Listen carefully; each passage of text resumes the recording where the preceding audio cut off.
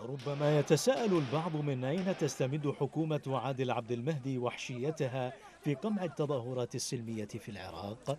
ويكفي متابعة تصريحات ممثلة الأمم المتحدة في العراق جانين بلاشخارت بشأن موقفها من انتفاضة العراقيين لتعرف الإجابة على الرغم من كونها موكلة لتكون مؤتمنة في نقل الحقائق والوقائع كما هي.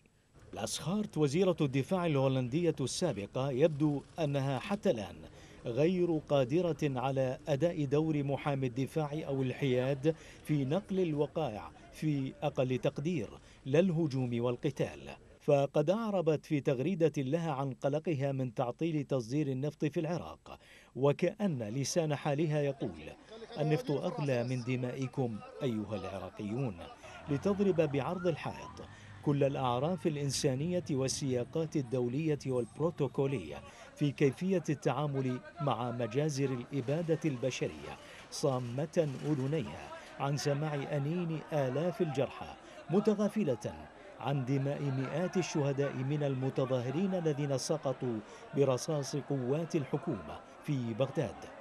تلك الحكومة التي لا تجد بلاسخارت حرجا في أن تسوغ لها انتهاكاتها داخل قبة مجلس الأمن في أثناء تقديم إحاطتها الدورية حين قالت إن حكومة عبد المهدي تبذل ما في وسعها من أجل الإصلاح وهي لا تملك عصا سحرية لتلبي كل الطلبات ولتكرر فعلتها تلك حين استعرضت زيارة لها ساحة التحرير وهي تتجول بين المتظاهرين.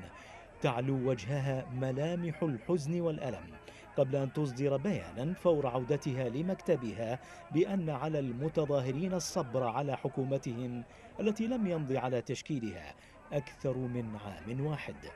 مواقف لا يمكن أن تعد بالغريبة. على شخصية سبق وأدلت بمعلومات خاطئة إلى برلمان بلادها الهولندي بشأن نفيها وجود قتلى مدنيين بغارة على قضاء الحويجة حين كانت بمنصب وزير الدفاع في عام 2015 ليتبين وقبل يومين على لسان وزيرة الدفاع الجديدة أنا بيلفيلد شوتن أن طائرات بلادها ارتكبت المجزرة التي أودت بحياة سبعين مدنيا.